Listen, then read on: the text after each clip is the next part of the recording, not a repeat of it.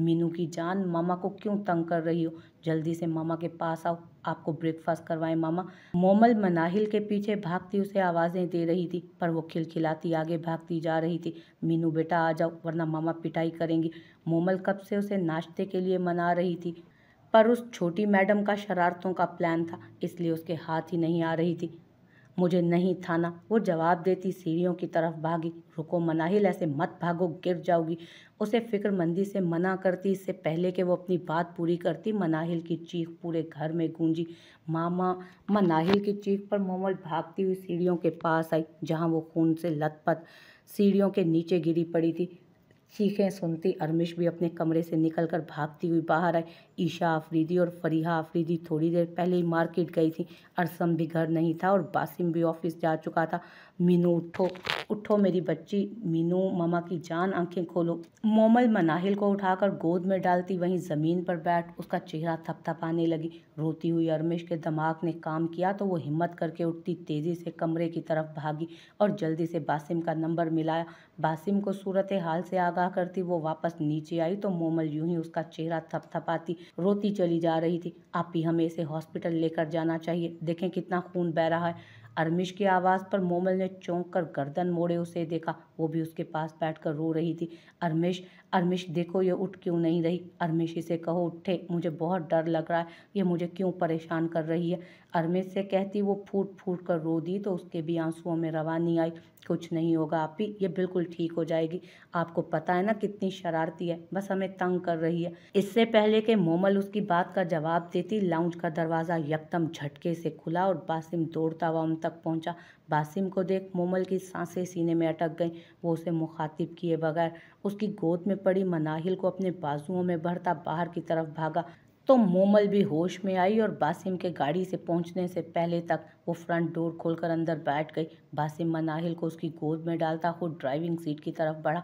पूरे रास्ते बासी में एक लफ्ज़ ना बोला था। मोमल रोती हुई बार बार मनाहिल को आवाज़ें दे रही थी, पर वो बेसुध पड़ी थी। हॉस्पिटल पहुँचते ही मनाहिल को इमरजेंसी वार्ड में ले जाया गया। मोमल की टांगों ने मजीद उसका बोझ उठाने से इनकार किया तो वो सामने मौजूद बेंच पर बैठती, चेहरा हाथों में गिरा, इशारों कतार रोने लगी।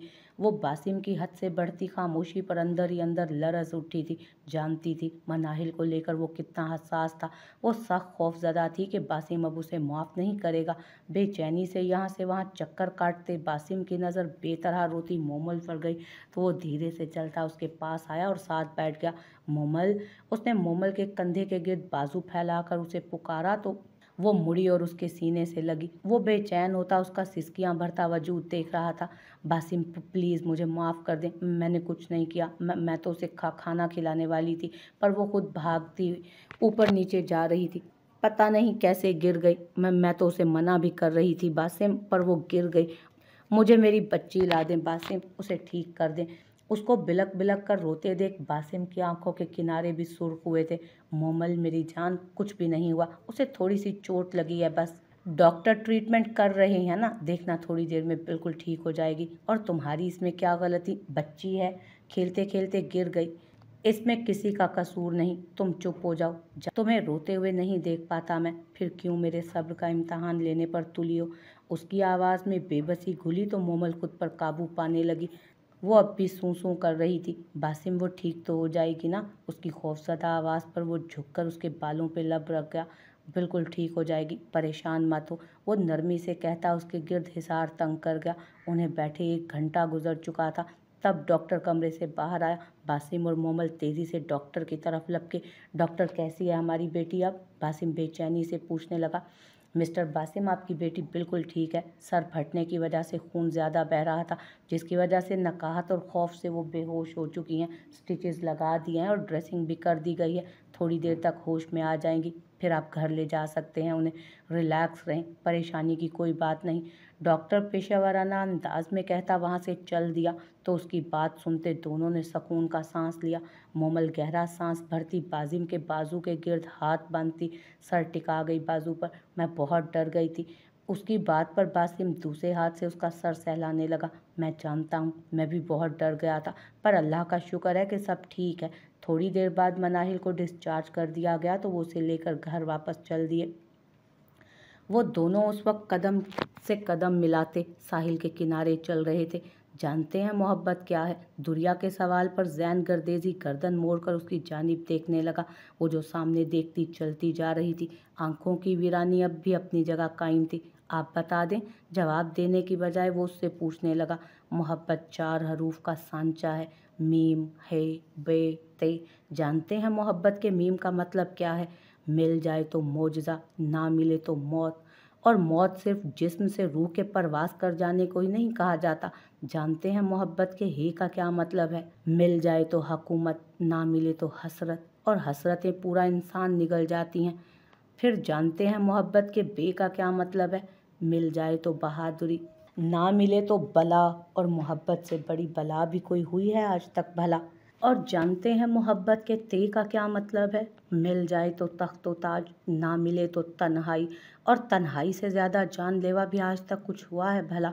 जैन साकित सा उसके लबों से अदा होते जुमले सुन रहा था। क्या तारीफ़ बयान की थी उसने मोहब्बत की? उसका हर्फ हर्फ सच था। जैन गर्देजी भी तो उसी मोहब्बत की राह का मुसाफिर था। फिर कैसे ना मुतफिक होता उसकी एक एक बात से। वो रुका जबकि वो चलती रही। थोड़ी आगे जाकर उसे महसूस हुआ कि वो अकेली ही चल रही है तो रुककर पीछे देखने लगी। उसने रुख मोड़कर देखा तो पीछे वो पेंट की जेबों में हाथ डाले खड़ा था। क्या हुआ? रुक क्यों गए? वो अबरू कर इशारे से पूछने लगी तो वो उदासी से मुस्कुराता नफ़ी में सर हिला गया और फिर से अपने कदम बढ़ाता उसकी तरफ़ आया। डूबता सूरज हर रोज़ की तरह आज भी उन दो भटके हुए मुसाफिरों को देखकर उदासी से मुस्कुरा दिया। नूरिया डरते डरते उस घर में दाखिल हुई, जिसका पता हाशिर ने उसे भेजा था। अपने भारी वजूद के गिर्द मजबूती से चादर फैलाती, वो एहतियाती कदम उठाती, आगे बढ़ती जा रही थी। वो घर बाहर से जितना वीरान था, अंदर से उससे भी ज़्यादा खौफनाक दिख रहा था। यहाँ तक तो आ गई थी, पर अब दिल खौफ से बुरी तरह धड़क रहा था। कोई है खाली मकान में उसकी आवाज़ गूंजी तो नूरिया को अपनी आवाज़ से खौफ महसूस हुआ। हाशिर, अब के उसकी पुकार पर वो एक कमरे से निकलता, उसके सामने आ खड़ा हुआ। आइए आइए, मिसेस राजा, वेलकम। उसकी सर्द आवाज़ पर नूरिया बेसाख्ता एक कदम पीछे ले गई तो उसकी पुश्त लाउंज के बंद दरवाजे से टकरा गई। उसका रंग सफ़ेद पड़ा, क्योंकि अभी ये दरवाज़ा खुला था, पर हाशिर के सामने आते ही बंद हो चुका था पीछे से। क्या हुआ? डर क्यों रही हो? हाँ उससे पूछता, हाशिर उसकी तरफ़ कदम बढ़ाता जा रहा था, जबकि नूरिया खौफ के बाइस अपनी चादर दोनों मुट्ठियों में भींच गई। हाशिर ने एक तफसीली नज़र उसके सरापे पर डाली। उसकी नज़रें नूरिया के अपने जिसम के आर पार महसूस होती, उसको महसूस हुई। वो एकदम तैश में आता आगे बढ़ा और नूरिया को बालों से दबोच गया। आह, छोड़ो, मुझे जंगली इंसान। वो चीखती हुई अपने बाल उसकी गिरफ्त से आज़ाद करवाने के जतन करने लगी, पर वो उसके चीखने चिल्लाने की परवाह किए बगैर उसे बालों से दबोचे अपने साथ खींचता एक कमरे में लाया। वो एक झटके से उसे ज़मीन पर फेंक गया। नूरिया ने बहुत मुश्किल से अपने हाथ ज़मीन पर जमाते खुद को बैलेंस किया था। अपने बच्चे को खोने के डर से उसका दिल बेतरह से धड़क रहा था। तुझे क्या लगा था साली कमीनी? कि तू मुझसे अपनी माँ बनने की खबर छुपा लेगी और मैं बेखबर ही रहूँगा। भूल है तेरी, मुझे तो शुरू में ही इल्म हो गया था, पर मैं सही वक्त का इंतज़ार कर रहा था और देख, आज कुदरत ने सही मौका दे ही दिया मुझे। वो फुंकार रहा था, जबकि नूरिया सुन होती उसे देख रही थी। उसे लगा सामने खड़ा ये इंसान हाशिर हो ही नहीं सकता।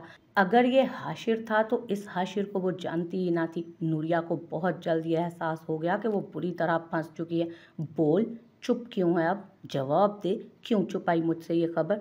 वो उसके पास ज़मीन पर एक घुटना टिका कर बैठता, उसके बाल मुट्ठी में फिर से जकड़ गया। हाशिर, छोड़े मुझे, पागल हो गए हैं क्या आप? वो रोती हुई अपने बाल उसकी गरीब से छुड़वाने लगी तो वो एक झटके से उसे छोड़कर उठ खड़ा हुआ। हाशिर, आप ऐसा क्यों कर रहे हैं? हाँ मैं जानती हूँ कि आपकी ख्वाहिश की वजह से मैं आर्जी शादी के लिए मान गई थी, पर मैं उस पर कायम नहीं रह सकी। मेरे पास भी दिल है, मेरी भी इज़्ज़त नफ्स है। मैं कोई खिलौना नहीं जिसे जब चाह किसी और की झोली में डाल दिया और जब चाह वापस ले लिया। मैं एक जीती जाती लग, मैं एक जीती जागती लड़की हूँ, जिसके जज्बात और एहसास हैं। मैंने पापा से ज़िद करके आपसे शादी की हाशिर। आपका हर सुख दुख में साथ दिया। आपको हर सुख देने की कोशिश की। आपकी औलाद की रोज़ बरोज़ बढ़ती ख्वाहिश मुझे सूली पर अटकाए रखती थी।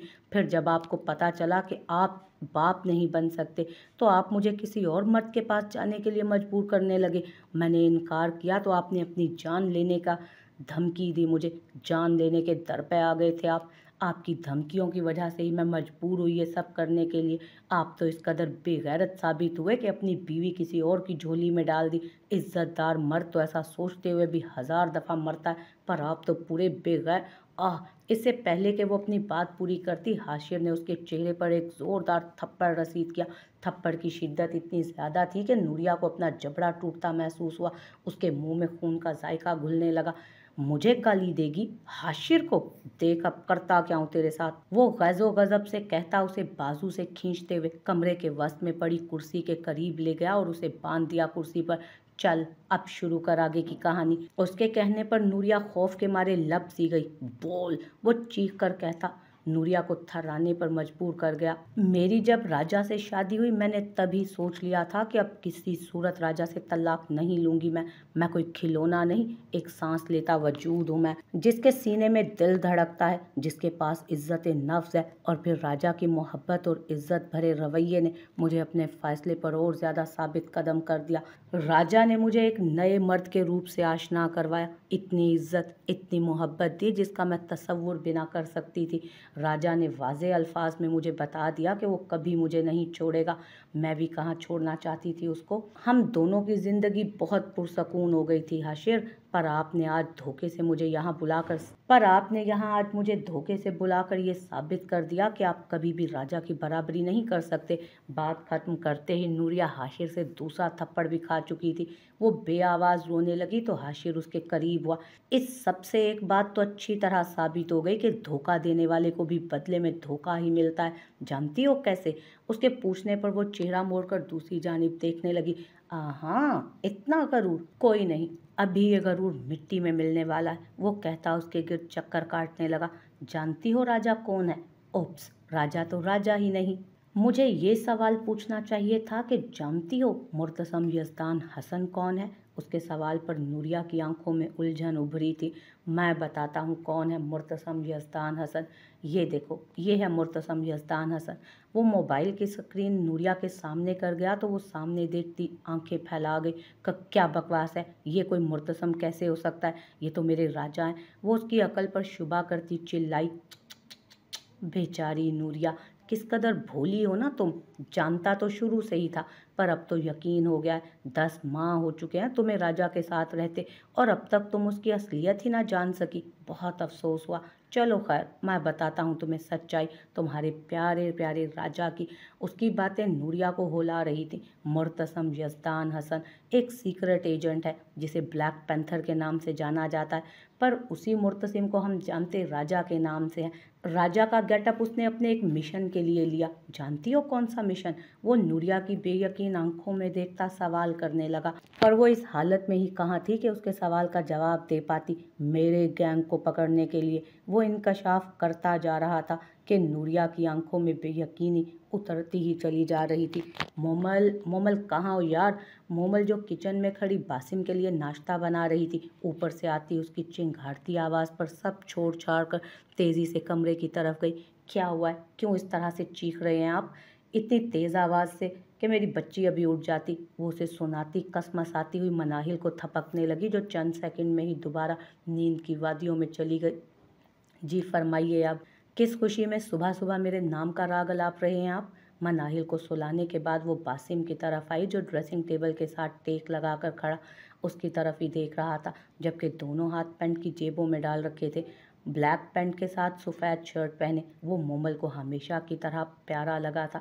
उसकी गहरी नज़रें खुद पर जमी महसूस करके मोमल की हथेलियाँ भीगने लगी, पर वो खुद को नॉर्मल ज़ाहिर करती उसके करीब चली आई।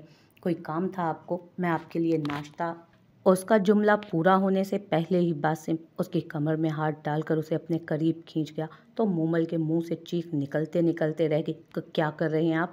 मोमल उसके मज़बूत सीने पर हाथ रखती पीछे होने की कोशिश करने लगी, पर वो उसकी हर कोशिश नाकाम कर गया। इबादत। बासिम के जवाब पर वो चेहरा ऊँचा करके बेयकीनी से उसकी आँखों में झांकने लगी। इबादत? पर कैसे? उसकी हैरत से खुली आँखों पर फूंक मारकर वो मुस्कुराया तो मोमल पलकें झपकने लगी। बीवी से मोहब्बत करना इबादत ही तो है। वो अपनी बात के जवाब में उसके चेहरे पर फैले खूबसूरत रंगों को मबहूत होकर देखने लगा। रूहे मन उसकी मोहब्बत से लबरेज आवाज़ मोमल के जिसम में फरीरी दौड़ा गई। उसके लफ्ज़ों की चाशनी मोमल की रूह महकाने लगी। पलकें लरस कर सजदा रेज हुई थी। जिज्जी, जानती हो तुम मेरे लिए क्या हो? उसकी गंभीर आवाज़ में किए गए इस्तफसार पर वो सर नफ़ी में हिला गई। करारे मन हो तुम, चाहते दिल हो तुम उजला सवेरा हो तुम, महकी रात हो तुम, सब रुतों का पयाम हो तुम, मुझमें, मैं हूँ ही कहाँ, मुझमें पूर पूर हो तुम।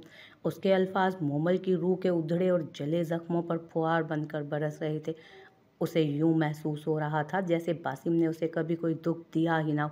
यूँ जैसे वो हमेशा से उसकी मोहब्बत की हकदार रही हो। बासिम, मोमल की पुकार पर बासिम ने सर झुकाकर उसकी आँखों में झांका। बोलो वो चेहरा झुकाते उसके कान में सर गोशी करने लगा तो, तो मोमल लड़ज उठी आ, आप ऑफ़िस के लिए लेट हो रहे हैं। मेरा बनाया गया नाश्ता अब तक ठंडा भी हो चुका होगा। वो उसकी शर्ट के बटनों पर उंगली फेरती बोली तो बासिम आफरीदी के जज्बात पर ओस पड़ गई। यार वो बदमज़ा होता बोला तो वो खिलखिला उठी। बहुत मज़ा आ रहा है ना मेरी हालत पर। अभी बताता हूँ। वो चिढ़कर कहता, शरारत से उसे पकड़ने के लिए आगे बढ़ा तो उसके इरादे समझती मोहम्मद उसे ज़ुबान चिढ़ाकर कमरे से बाहर भाग गई, जबकि वो सिर्फ़ उसकी फुर्ती देखता रह गया। फिर सर झटक कर भरपूर मुस्कुराता अपना रुख शीशे की तरफ़ मोड़कर बाल बनाने लगा। हस्बैंड, ये वाला सवाल समझा दे। अरमित सामने बैठे, अरसम से बोली जो मोबाइल में गुम था। उसकी आवाज़ पर उसने चौंक कर सर उठाया फिर उसकी बात पर ध्यान देता बेड छोड़कर सीधा वो बैठा और फिर मोबाइल पर साइड पर रखा, लाइन दिखाएँ कौन सा सवाल? गुजरे सात महीनों में अरसम अरमेश को पढ़ा रहा था। जब मैचेस में बिज़ी होता, तब ये ज़िम्मेदारी मोमल के सर आ जाती। अरसम ने बहुत वक्त में जान लिया था कि अरमेश एक जहीन लड़की थी। बहुत जल्दी चीज़ें पिक कर लेती थी। अभी भी वो अलजबरा के सवाल हल करने बैठी थी, जब उसे एक सवाल मुश्किल नज़र आया। जब उसे एक सवाल में मुश्किल हुई तो वो उसी सवाल में अब बासिम से हेल्प मांग रही थी। ये वाला वो उंगली से सवाल की जानब इशारा करते बोली तो अरसम ने उसके हाथ से पेन और रजिस्टर पकड़कर सवाल समझा दिया। उसे सवाल समझाकर वो फिर से मोबाइल में गुम हुआ। अभी दस मिनट गुजरे थे जब उसकी मीठी सी आवाज़ फिर कानों में टकराई। हस्बैंड दोबारा समझा दें, प्लीज़। उसकी पुकार पर फिर से सर हिलाता वो उसे समझाने लगा। उसे सवाल समझाकर वो फिर से मोबाइल पर गेम खेलने लगा। हस्बैंड एक दफ़ा फिर, प्लीज़। बस तीसरी दफ़ा पुकारा गया। Husband, please, last time. अब के आवाज़ में शदीद बेबसी थी। अब के आवाज़ में थोड़ी नमी भी घुल गई थी। पर वो पहली दफ़ा जैसे ही फर्मा बर्दारी के साथ सर हिलाता। पहली तवज्जो के साथ समझाता, फिर गेम खेलने लगा। कुछ देर बाद उसे हल्की हल्की सिसकियों की आवाज़ सुनाई दी तो वो चौंक कर सर उठाता, सामने देखने लगा, पर उस पर नज़र पड़ते ही ठिठक गया। वो आँसू बहाती गोद में पड़े रजिस्टर को घूरती चली जा रही थी। आँसू तवातुर से बहते रजिस्टर को गीला कर रहे थे। बालों की लटें भीग कर गालों से चिपकी हुई थी और नाक लाल हो रही थी, जिसम होले होले काँप भी रहा था। वो मोबाइल बेड पर फेंकता, तेज़ी से उसके नज़दीक आता, कंधों से उसे थाम गया। क्या हुआ यार? रो क्यों रही है? कहीं दर्द है क्या? तबीयत तो ठीक है। वो परेशानी से पूछता, खुद ही उसके माथे पर हाथ रखता, चेक करने लगा। पर जिसम तो ठंडा था। अरमिश उसके इस्तफसार पर मुँह से एक भी लफ्ज़ निकाले बगैर उसके कंधे पर सर रखती, बच्चों की तरह रोने लगी। उसे यूँ रोते देख वो मज़ीद परेशान हुआ। अब की बार कुछ भी पूछे बगैर उसके गिर्द एक हाथ बांधता, दूसरे सर, दूसरे हाथ से उसका सर थपथपाने लगा। काफ़ी मिनट रो लेने के बाद जब उसका रोना मध्यम हुआ, सिसकियों में बदला तो अरसम धीरे से उसे खुद से अलग करता, अपनी उंगलियों से उसके भीगे गाल साफ़ करता, उसके सुर्ख पड़ते चेहरे को तशवीश से देखने लगा कूल डाउन अब अब बताओ क्यों रो रही थी आप? और ख़बरदार एक भी आँसू इन हसीन आँखों से अब बहा तो वो अरमिश को प्यार भरी डांट पिलाता, उसके रोने की वजह दरियाफ़ करने लगा, उसके सवाल पर वो शर्मिंदा सी सर झुकाती, निचला होंठ दांतों तले दबा गई अरसम ने उसे इशारे से मना किया। दाएँ हाथ के अंगूठे की मदद से। बताइए शाबाश। अरसम अरमिश का हाथ अपने दोनों हाथों में लेता हुआ नरमी से पूछने लगा तो वो शर्मिंदा शर्मिंदा सी सर उठाकर उसका चेहरा देखती खुद में बोलने की हिम्मत पैदा करने लगी। वो एक्चुअली वो वो अटक कर बोलने लगी तो अरसम इस बात में सर हिलाकर उसका सर पड़ता हाथ अपने हाथों से दबाता हौसला देने लगा। हमें इस सवाल की बिल्कुल भी समझ नहीं आ रही। वो आँखें बंद करती, अपना मसला एक ही सांस में बताती। ज़ुबान दांतों तले दबा गई तो अरसम हैरत से उसका मुँह देखने लगा। आप एक सवाल समझ न आने पर इतना रो रही हैं? सीरियसली? अरसम की आवाज़ और चेहरे से झलकती बेयकीनी देख वो मज़ीद शर्मिंदा सॉरी अरसम आफरीदी कहाँ उसके शर्मिंदा होते हुए देख सकता था? वो अरमिश की ठोड़ी पकड़ते, उसका चेहरा उठाता, खुद की तरफ़ देखने पर उसे मजबूर कर गया। इसमें रोने वाली क्या बात है? अगर नहीं समझ आया तो दोबारा समझ लें। It's not a big deal वो उसकी ठोड़ी छोड़कर उसका चेहरा अपने हाथ में थाम गया। लेकिन हम चार दफ़ा समझ चुके हैं ना आपसे। वो होंठ लटकाती बोली तो अरसम उसको मासूम, मगर जानलेवा अदा पर दिल के हाथों मजबूर हो गया। आप मुझसे चार दफ़ा क्या चार हज़ार दफ़ा भी एक ही सवाल कर सकती हैं? अरसम आफरीदी का भी इतना जिगरा नहीं हुआ कि वो अरमेश आफरीदी को इनकार करे, और ना ऐसा कभी होगा। अरमिश आफरीदी अरसम आफरीदी पर पूरा हक रखती है। तो अरसम आफरीदी का भी अवलिन फ़र्ज़ है कि अरमिश आफरीदी के नखरे उठाए। उसकी हर बात पर लब बैक कहे। वो अपने खूबसूरत अल्फाज अरमेश के कानों में उतारता। उसे पुरसकून कर गया। अच्छा छोड़ें, ऐसा करें, अभी इसको छोड़ दें। कुछ देर दिमाग को पुरसकून होने दें, फिर दोबारा समझें। वो उसकी गोद में पड़ा रजिस्टर और पेन एक तरफ़ रखता, बेड से टेक लगा कर बैठा।